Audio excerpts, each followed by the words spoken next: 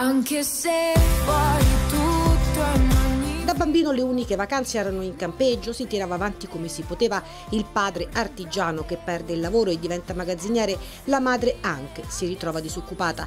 Con i soldi della liquidazione comprano un bar, poi viene venduto. Federico Leonardo Lucia, prima di diventare Fedez, era un ragazzino con un futuro che sembrava segnato, nato da una famiglia di classe subalterna e operaia. A scuola le cose non andavano benissimo, poi però l'amore per il rap, lui tenta la strada, funziona.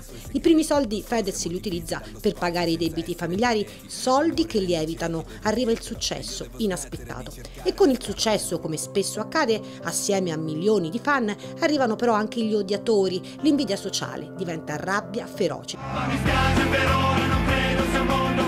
Rabbia che non si ferma neanche di fronte alla malattia. Nel 2022 Fedez scopre un raro tumore al pancreas, si sottopone a un'operazione urgente inizia a soffrire di depressione. Arrivano i messaggi di solidarietà dai fan, ma si mette in moto anche la macchina dell'odio, di nuovo fino ad augurargli la morte. Cosa che è accaduta anche in questi ultimi giorni, quando Fedez ha rischiato la vita per due gravissime emorragie.